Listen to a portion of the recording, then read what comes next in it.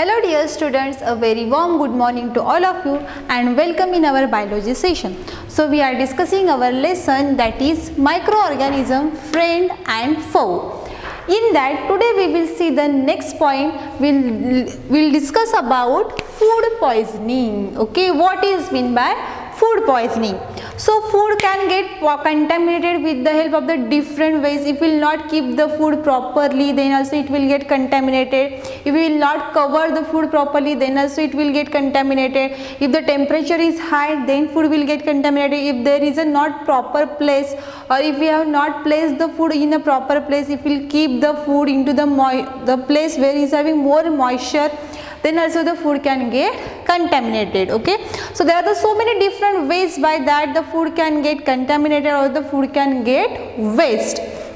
So how that food can get waste or how that food can get contaminated? Because there are the certain microorganisms those who are living in the food stuff or in the food atom so these micro sometime what happened these microorganisms started to produce some toxic substance in the food atom and that toxic substances makes the food poisonous and that poisonous food causes the food poisoning okay? So certain microorganisms started uh, living in that and they produce certain type of the toxic substances to substances in the food atom which is so much uh, has, which is so much dangerous for our health. If we eat like that contaminated food then uh, we can get suffer from the different diseases. We can say that vomiting is there diarrhea dysentery stomach ache or headache and sometimes we can get suffer from the fever also. So in this way is all causes due to the food poisoning. But how we can control the food poisoning? There is any way to control the food poisoning Yes, or there is any way to control the or we can preserve the food material? Yes, there are the certain ways by doing that ways we can preserve the food from getting contaminated or we can stop the poisoning of the food. So, let's discuss there which are the different ways. So, the next point we will discuss that is what? Food preservation means how we can preserve the food. The process by which spoilage of food is prevented. Very important word student keep in the mind. What? The process in which spoilage of food is prevented by using chemical or physical methods is called food preservation. So what we are doing in the food preservation, it is the process in that what happen, what we are trying to do, we are trying to prevent the spoilage of food by with the help of the certain chemical or by the physical method and that process is called as food preservation. So there are the different methods by doing that methods we can preserve the food or we can stop the contamination of the food. So let's discuss about the methods of food preservation which are the different methods for the food preservation. First we will discuss about chemical method.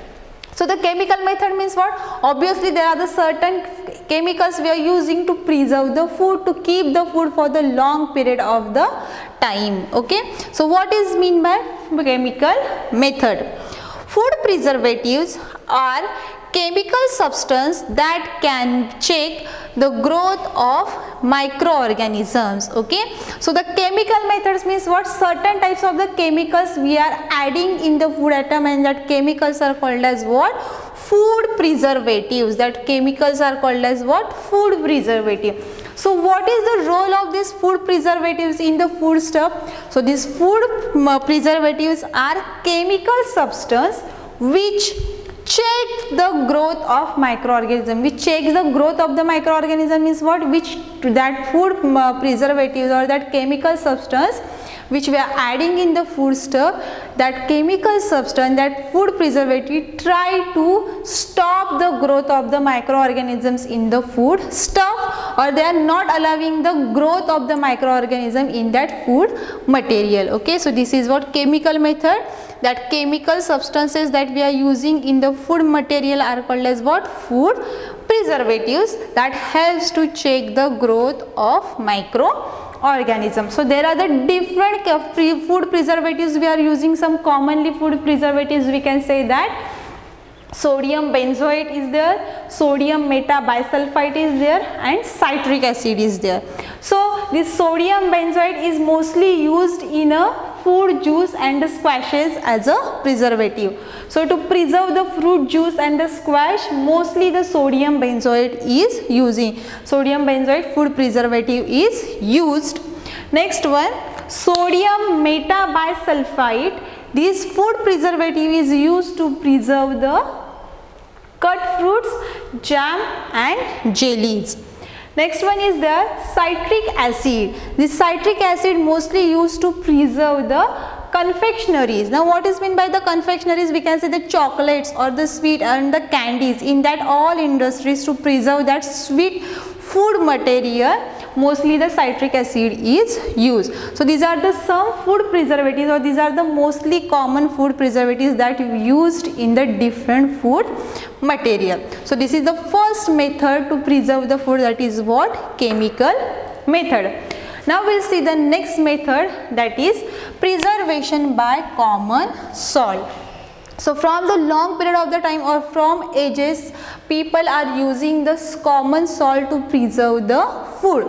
That common salt uh, we are we have to cover the food material with that common salt and that salt can absorb all the excessive water from the food material and in this way it will stop the growth of the microorganism from the food material.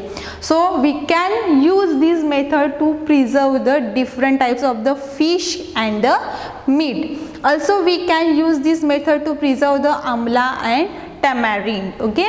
So this is what? Preservation by common salt. It is also called as what? Salting next one method we will discuss that is what? Preservation by sugar which is also called as what sweetening so how this uh, sugar can helps to preserve the food material let's see so we have to add the more amount of the sugar in the fruits or in the jellies. So this sugar will act as a or it will helps to stop the growth of the of the microorganism which are responsible for the spoilage of food material. So in this way the sugar will also act as a food preservatives okay and that method we can say that what sweetening so yeah, this sugar helps to absorbs the moisture from the food content and in this way it is indirectly can helps to stop the spoilage of the food. Next one we will discuss about that preservation of oil and vinegar. After the chemical method mostly the food preservatives we are using that is what oil and vinegar.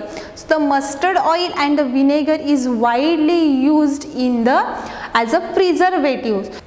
Mostly this preservative is used to preserve the fruits and the vegetables in the form of pickle. So in the pickle mostly we are adding the more amount of the oil and vinegar.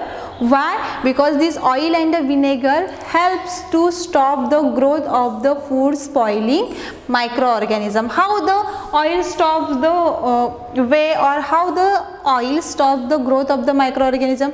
See if we have seen the uh, jar of the pickle then our mother is uh, adding more amount of the oil in the pickle jar. Why?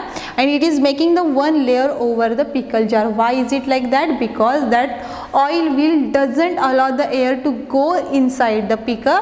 In this way the microorganisms will not get enough amount of the air to breathe and their growth will get stopped. Okay, so in this way oil and the vinegars can also act as a preservative in a different food material. Also some fish and the meat can also get preserved with the help of the oil and vinegar. Now we will see the next method which is very important that is what pasteurization method. Okay, so now let's discuss the next method of the food preservation that is nothing but what pasteurization method and this method was invented by the Louis Pasteur in 1862. So what is mean by the pasteurization method? Let's see. So basically in the pasteurization what happened? We are preserving the food material for a long period of the time and to preserve it what we are doing in this pasteurization method we have to uh, heat the food at a very high temperature and then suddenly we have to cool that food temperature okay? Suddenly we have to cool that food material by decreasing their temperature and that method only we are calling as what? Pasteurization method. So let's discuss so it is the method which is used uh, for the preservation of milk. It is a process for preservation of milk. It is the basically used to preserve the milk from getting contaminated. Okay, so what is happening that? So milk is get heated at the temperature 70 degrees Celsius for 50 to 30 seconds so in the pasteurization method we have to heat the milk at 70 degrees Celsius for 15 to 30 seconds and then we have to cool it quickly or we have to decrease its temperature up till 10 degree Celsius. Why? To prevent the remaining bacteria from growing. So because of the heating what happen? The all the microorganisms which are present in the milk all are getting and then we have to cool it at the we have to cool it quickly at to 10 degree celsius which causes what? To prevent the remaining bacteria from growing. So in this way because of the heating and because of the cooling the most of the bacteria bacteria which are present in the milk are getting killed and we can increase the life value of the milk. In this way we can make the milk free from the microorganism and we can use it for the long period of time. So this is about the pasteurization method which was invented by Louis Pasteur in 1862. Now next one we will see that cooling and freezing. So there are the certain food material or the cooking food. We can say that milk and the milk product also we are keeping them into the refrigerator or we are keeping them into the deep freezer because of these what happen in the free refrigerator or in the deep freezer the temperature is very low. And that is not the favorable condition for the growth of a microorganism. Because of that low temperature the growth of the microorganism will get stopped and we can protect the food from getting contaminated. So that is only what? Cooling or freezing. Next one is what by dehydration also we can protect the food or we can preserve the food. So this dehydration is a very traditional method to preserve the food. So basically the favorable condition for the microorganism to grow that is what air, water and warmth. So all these three factors are responsible for the proper growth of microorganism and in that moisture is the very important thing for the growth of a microorganism. But in the dehydration what we are doing we are removing all the moisture from the food material that is only we are calling as what dehydration. D means what removing hydration means what moisture. So in this method what we are doing we are removing all the water or all the moisture which is present in the food material. The process of removal of water from a substance is, is called dehydration. So removing of the water or the moisture that method is called as what? Dehydration and because of the removing the moisture from the food stuff, it is not a favorable condition for the microorganisms to grow now and the growth of the microorganism will get stopped and in this way we can preserve the food material. So different cereals we can say that rice, wheat, jowar, bajra, we can uh, dry it in the sun okay and we can keep it for the long period of the time. So in this way with the help of this dehydration method also we can preserve the food materials. Nowadays there are the dry fruits or there are the certain nuts which we can get into the airtight containers which also helps to protect the food from the getting contaminated because of that airtight container the microorganisms are not getting proper air to breathe or to survive and it will not grow in that food material and we can use that food material for the long period of the time. But once you open that can, okay, once you open that airtight can then you should consume that food as early as possible because once we open that can then the air will enter in that and it will enhance the growth of the microorganism, okay. So all these are the different methods of food preservation with the help of this method we can preserve the food material So this is all about today. Today we have discussed about the food poisoning and food preservation. Here we will stop. It is the time to tell you goodbye. We will meet in the next video and for today thank you.